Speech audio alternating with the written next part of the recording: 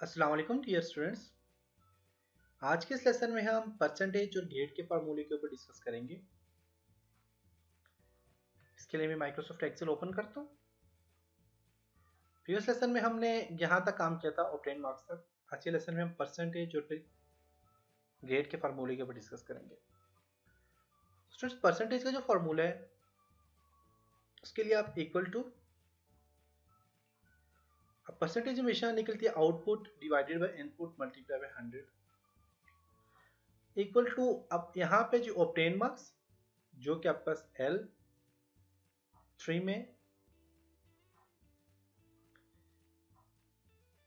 Equal to अब आपके पास ऑप्टेन मार्क्स या फिर आउटपुट जो होती है, वो आपने यहाँ पे ऐड करनी है।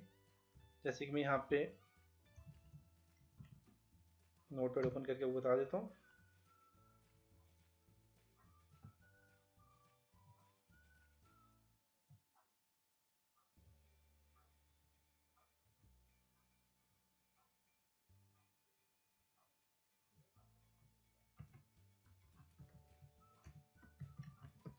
परसेंटेज का formula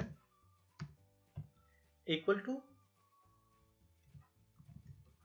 obtain marks divided by total marks multiply by hundred या फिर इक्वल टू आउटपुट टोटल जो आउटपुट है वो divided by total input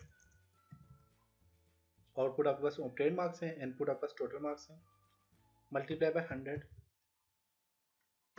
for example आपका जो फार्मूला बनेगा, वो कुछ यूँ बनेगा। आपके पास ऑप्टेन मार्क्स जो है, वो कहाँ पे एल थ्री में और टोटल मार्क्स के थ्री में। फार्मूला आपके पास कुछ यूँ बनेगा। ऑप्टेन मार्क्स कहाँ पे K three divided by L three multiply by hundred sorry L three divide by K three L three obtain marks है और के थ्री टोटल मार्क्स है।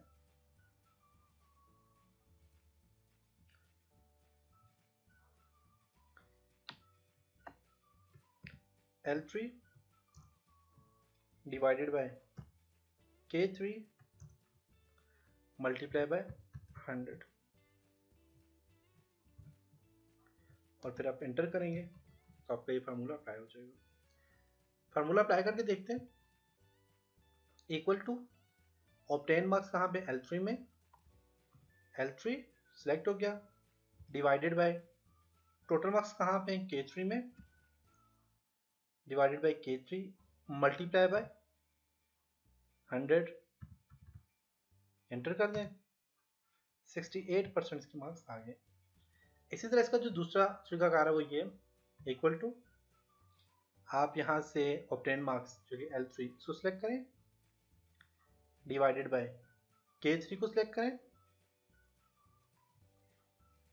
मल्टीप्लाई बाय हंड्रेड एंटर कर दें तो इसके 76 परसेंट मार्क्स हैं। इसी तरह अगर ग्रेड का फार्मूला देखा जाए तो ग्रेड का फार्मूला क्या होता है? तो ग्रेड का फार्मूला भी आप देख लें।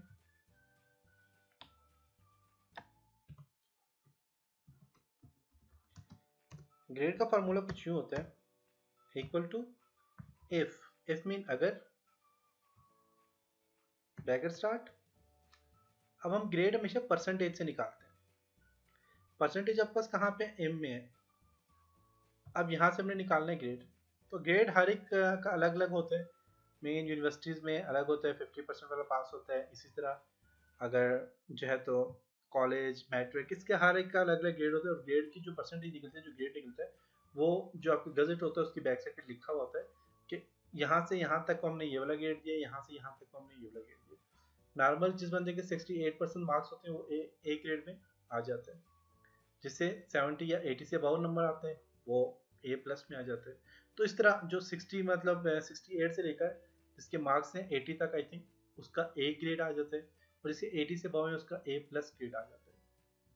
या 68 से जिसके कम है, बाद में 60 से कम होते हैं, उसका सेकंड भी यानी बी ग्रेड आ जाता है। सॉरी उसका जो बी ग्रेड आता है फ़र्स्ट ईयर में, और फिर सी ग्रेड आ जाता है, जो कि सेकंड विन बन जाती है डी ग्रेड फिर इस तरह आगे पीछे चलता रहता है। तो सबसे पहले equal to F bracket start M three जो है, ये परसेंटेज है M three is greater than अगर एम थ्री ज़्यादा है परसेंटेज ज़्यादा है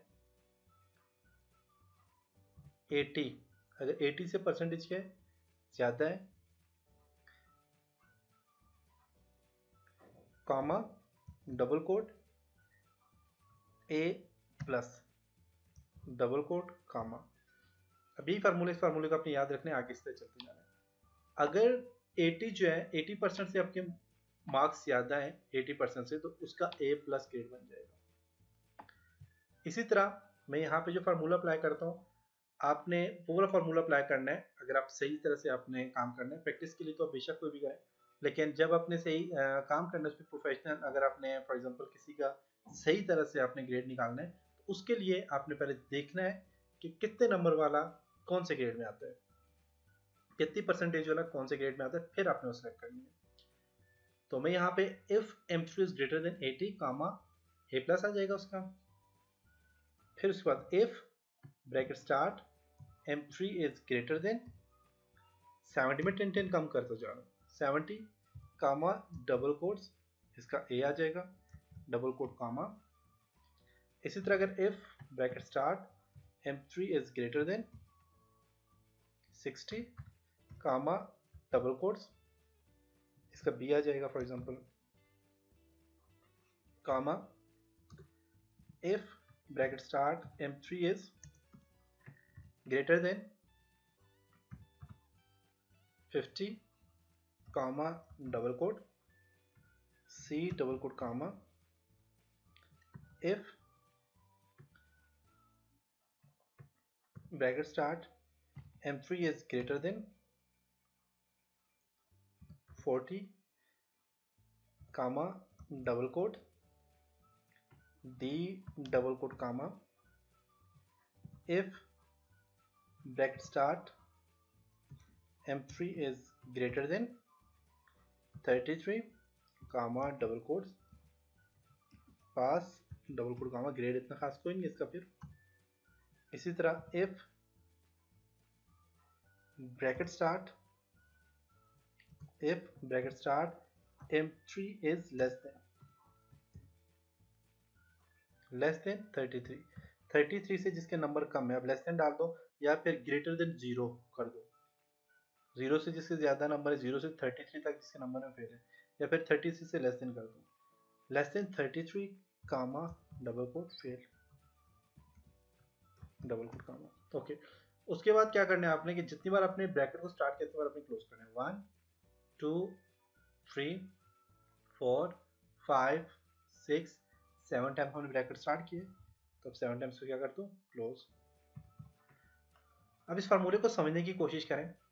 अब यहाँ पे कह रहे हैं इफ़ अगर m3 मीन परसेंटेज है m3 क्या है? परसेंटेज परसेंटेज 80 परसेंट से ज़्यादा है। टोटल हंड्रेड परसेंट होती है। अगर वो एटी और हंड्रेड के बीच में उसका ए प्लस ग्रेड बनेगा। और अगर जिसकी परसेंटेज है वो सेवेंटी और एटी के बीच में सेवेंटी एंड एटी के बीच में उसका ए ग्रेड बनेगा। जिसकी परसेंटेज सेवेंटी और सिक्सटी के बीच में उसका बी ग्रेड बनेगा। जिसकी परसेंटेज फिफ्टी और सिक्सटी के बीच में उसका सी ग्रेड बनेगा। जिसकी परसेंटेज फोर्टी और फिफ्टी के बीच में उसका डी ग्रेड बनेगा। और जिसकी परसेंटेज 33 और 40 के बीच में वो पास है और जिसकी 33 से कम है, वो फेल है। तो ये इसका फार्मूला है टोटल अब हम इसे प्रैक्टिकली अप्लाई करते हैं। Grade is equal to if bracket start M three देखिए परसेंटेज सेलेक्ट हो गया। M three is greater than eighty comma double quote A plus double quote comma if bracket start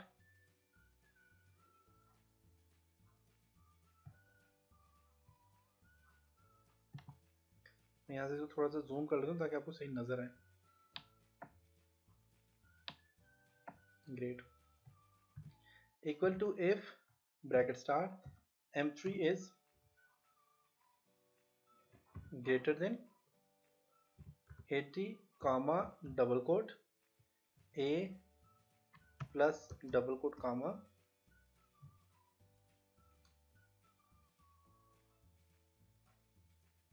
यहाँ पे देखें। इसी तरह if bracket start M three is greater than seventy comma double quote A double quote comma if bracket start M three is greater than sixty comma double quote B double quote comma if bracket start m3 is greater than 50 comma double quote c double quote comma if bracket start m3 is greater than 40 comma double quote d double quote comma if bracket start m3 is greater than 33 comma, double quote, pass, double quote, comma, if bracket start m3 is greater than, less than क्योंकि यहाँ पे less than आ जाएगा less than 33 comma double quote फिर double quote comma अब bracket आपने close करनी है कितनी बार? जितनी बार आपने ब्रैकेट ऐड किया सेवन टाइम इसके अलावा आप ब्रैकेट को क्लोज करते जाएँ, जब लास्ट ब्रैकेट ब्लैक आएगी आप इंटर कर दें। देखें ब्लैक आ गई है। अब आपने क्या करना है? इंटर कर देना कि इसका क्या ग्रेड बन गया? जी बी ग्रेड तो ये था जी फार्मूला तो उम्मीद है कि आपको यहाँ तक समझ आया होगा। तो इस फार्मूले को आपने याद नहीं करना। आपने सिर्फ़ यहाँ तक याद करना इस फार्मूले को। सिर्फ़ और सिर्फ़ यहाँ तक आप याद करें। यहाँ तक। उसके बाद आपने क्या करना है कि आपने बस परसेंटेज डालनी है। और ग्रेड डालने है बस। परसेंटेज डालनी है ग्रेड डालने है। तो यहाँ तक हमने इस फार्मूले को जहन में रखना है तो यहाँ का इसका क्या आ गया जी? बी ग्रेड अब यहाँ पे एक और, अब मैं आपको कोड टिप्स देता हूँ। फॉर एग्ज़ाम्पल मैं यहाँ पे नंबर ऐड करता हूँ।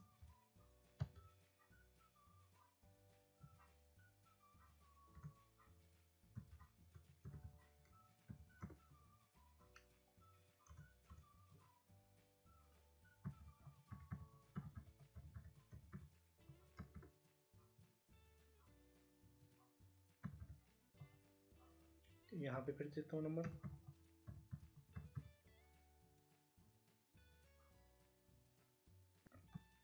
तो यहाँ तक मैंने लिख लिया है, अब देखें यहाँ पे अपने क्या करना है कि अब देखें यहाँ पे हमने एक बार फार्मूला अप्लाई कर लिया। फार्मूला अप्लाई करने के बाद आपने जस्ट देखें यहाँ पे हमने फ़ील्ड सारी यहाँ पे लिख ली और जस्ट आपने यहाँ तक इसको रेंज को सिलेक्ट करना है। तो सबका जो है तो यहाँ पे इसको सिलेक्ट करें और यहाँ तक तो देखें सबके अपडेट हो गया नंबर अब इसी तरह अगर यहाँ पे जाएँ और जाके ज़रा देखें इनको परसेंटेज तो सबकी परसेंटेज भी आ गई है। अब इसके 95 परसेंट है क्योंकि इसके 768 मार्क्स हैं 800 में से। अब इसी तरह ग्रेड को यहाँ से यहाँ तक ड्रैग करके नीचे लें तो देखिए तो ये सारे पास हैं फेल हो गया क्योंकि इसके मार्क्स थे सेवनटीन परसेंट सेवनटीन परसेंट ये पास है। और ये देखें ए प्लस ग्रेड में। बाकी ए में बी में, देखें सारे यहाँ पे इसके बाद जब आप एक बार रेंज बनाने के बाद उसको सिलेक्ट करते हैं सिलेक्ट करने के बाद जब आप नंबर ऐड करेंगे इसमें यहाँ पे ऐड करता हूँ। अब जो ही देखिएगा मैं टोटल मार्क्स में जाता हूँ तो सारे के सारे ऑटोमेटिकली देखिए आ गए देखिए टोटल मार्क्स में जो मैंने क्लिक किया तो देखिए ऑप्टेन मार्क्स भी ऑटो आ गया परसेंटेज भी आ गया और ग्रेड भी आ गया एक बार फिर मैं यहाँ पे करता हूँ।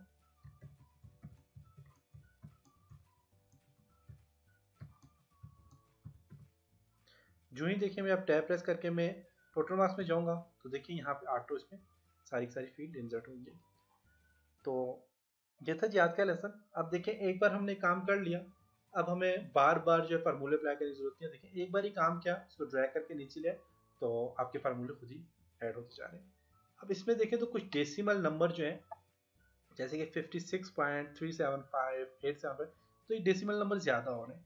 इनको यहाँ से आप क्या करेंगे? नंबर में जाएँ और यहाँ पे देखें तो डिक्रीज डेसिमल है और फिर इंक्रीज है। डिक्रीज डेसिमल करें तो अब देखें, अब सही हो गया जी।